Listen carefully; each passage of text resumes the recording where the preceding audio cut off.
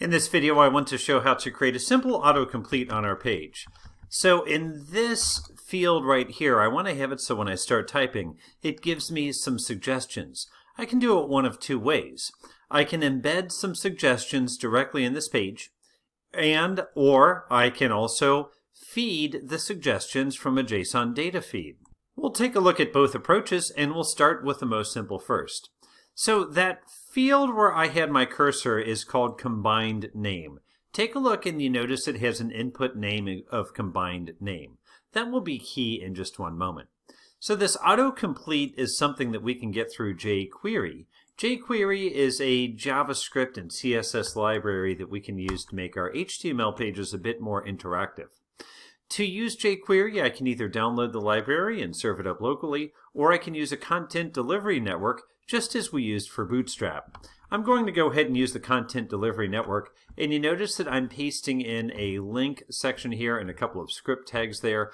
I will, of course, push this up to GitHub so that you can simply copy and paste that as you wish. Now comes the interesting part. We have to take the jQuery libraries and we have to connect them to our input name equals combined name. We're going to do this with a bit of JavaScript and we'll do it up in the head section.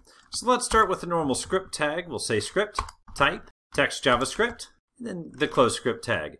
Now we need to create a function. So dollar sign open paren, and then open paren, and we'll terminate that with a semicolon.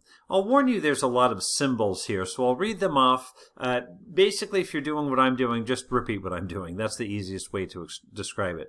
So now we do an inline function. We simply call it function. Open and close paren open curly, and then close curly.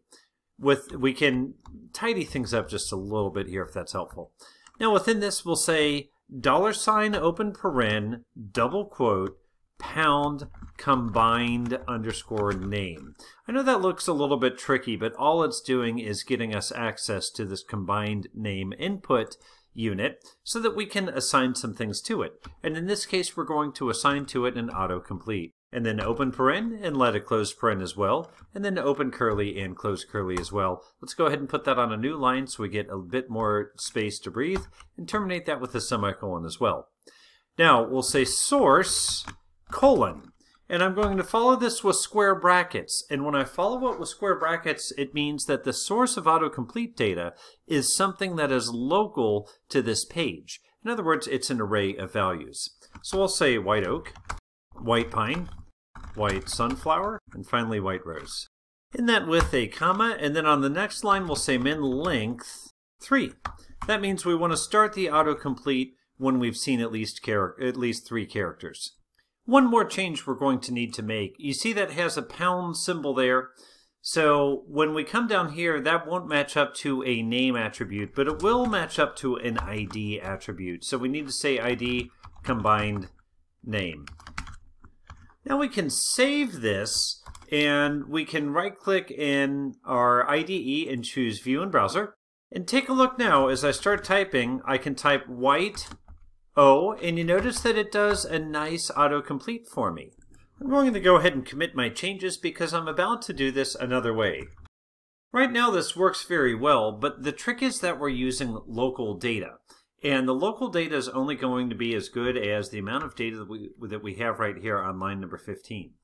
What if we wanted to use a JSON data feed instead? And think about that. If we use a JSON data feed, we could go get that data feed from anywhere on the internet. So I'm going to right click on pages and choose add. And then let's say razor page. And razor page is fine. We'll call this one auto complete plant names. Now if we take a look at the code behind, we can do a bit of magic here. You see that we have public void on get, but here's a neat thing. If we simply change the return type of that from void to JSON result, it will take whatever we return and make it look like JSON. So say for example we wanted to make a list of plants. We could say private, just like so. We can make a list of plant names and then we can say plant names We can simply add plant names to this collection, and then we can return new JSON result, plant names. And that will effect effectively wrap up this list of plant names and return it as a JSON result. Let's give it a try and see what happens. Notice when I start our application and I go to the endpoint autocomplete plant names, you see each of these plant names in a JSON array, and that's perfect. That's exactly what I need. I'm going to grab this thing right here, copy, and back to our About Us, I'm going to make a subtle change. Do you see how the autocomplete currently has a source? And that's enclosed within square brackets indicating it's a local array. Well, if I simply switch this to our endpoint in quotes, it's going to know to hit that endpoint instead. Let's try this one more time. Notice when I bring up the About Us page and I type in red, take a look at what we get. Instead of getting the white oak and the things we got before, now we're getting things like redbud. As a matter of fact, if I type in white, well, nothing's going to come up because it's now using this remote data, not our local data. One more thing you'll notice is that as I type, for example, Redbud, it doesn't actually take away any of the options that do not match. The reason is, if we take a look at our About Us page and we have this source autocomplete plant names, because it's in quotes, jQuery knows that this is a service that's re returning a JSON array to us. And it assumes that this service is going to be smart enough to do the autocomplete. So when jQuery is calling this, it's essentially calling like so. Autocomplete plant names, but then with term equals, and then whatever the letters the user has typed in. So you see term equals red, uh, but then I could say term equals red bud, and we're still going to get the same response. So we need to account for this. And that's actually fairly straightforward. Since it's a query parameter, we just go to the code behind for this autocomplete plant names and say string term, because remember term is what it's passing over to us in the name value pairs and the uh, get parameters essentially, or the request parameters. So now let's make a new list.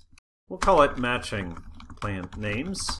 And we'll only put plant names that match into this matching plant names collection. So first let's iterate over all plant names.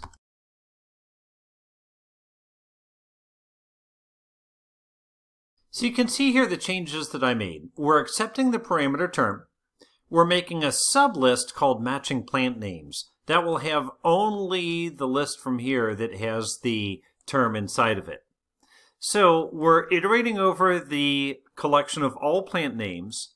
Then we're going to shake hands with one plant name at a time. And we're going to say, do you contain the keys that the user has entered? If so, I'm going to add you to the subset of matching plant names, and then I will return those matching plant names as the result of this method. I've started the application so we can see the result. Notice this is our feed of JSON data. Autocomplete plant names question mark term equals red. Now note when I type in red bud and hit enter, note that it only shows us red bud. If I say red oak, we get only red oak. If I say red and then a space, and the plus is essentially a space in the URL, we get only the items that start with a space. Red plus M, red maple. So you see now that our feed of JSON data is auto-completing based on that term that's passed in, let's verify that the same thing works on our HTML page. I type in the word red and I see all of the options. I type in a B and I only see red bud. Red space, red bud goes away, but red maple is still an option, and if I keep typing red maple, we're going to see that we get red maple, red oak, so on and so forth. So, in this video, we've seen how to make a very simple JSON endpoint that is simply returning a series of items in a list as a JSON array.